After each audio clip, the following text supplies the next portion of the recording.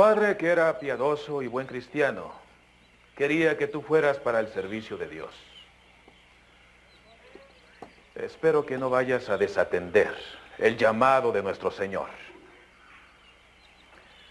Dios te mira.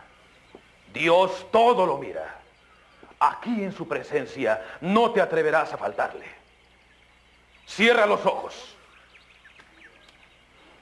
Cierra los ojos y por este instante colócate ante la presencia de tu propia muerte. Imagina tu juicio particular. Imagina que acabas de morir y que tienes que rendir cuentas de esta vida terrena para que alcances la vida eterna. Dios está frente a ti. ¡Híncate! Estás ante tu juicio final. ¿Crees poder soportar eternamente los horrores del infierno si quieres salvar tu alma?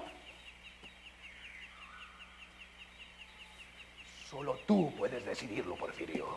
Solo tú. No traiciones a Jesucristo nuestro Señor y escucha su llamado.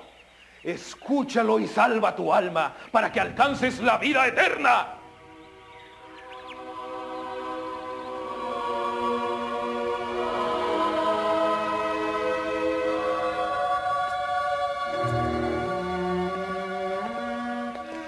Esta será tu segunda casa, Porfirio. El lugar donde te formarás.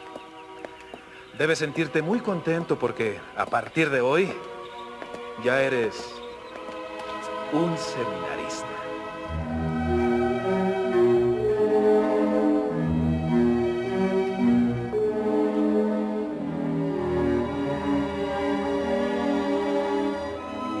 Has tomado la mejor decisión, Porfirio. En el seminario podrás educarte bajo los preceptos de la Santa Iglesia. Buenos días, Padre Rodríguez. Mire, este es mi sobrino Porfirio. ¿Va a estudiar aquí? Sí, Padre. Me alegro. Bienvenido, Porfirio. Con su permiso, Padre. Pase usted. Pero no voy a quedarme a vivir aquí, ¿verdad? no. Seguirás viviendo en tu casa hasta que sea hora de ordenarte. Serás un ministro de Dios, Porfirio. Un verdadero soldado de la iglesia.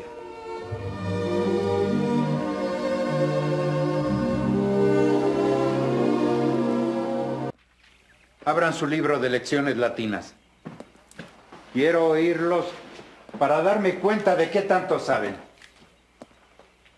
Vamos a empezar por lo elemental. Los mínimos y menores. A ver, a ver, usted seminarista Jiménez, lea. De pie he dicho. Las lecciones siempre se dan de pie. La, la, la dama Musa Musae y el caballero Dominus Domini fueron al Templum Templis a escuchar... Siéntese. Necesita usted estudiar más. Y esto va para todos.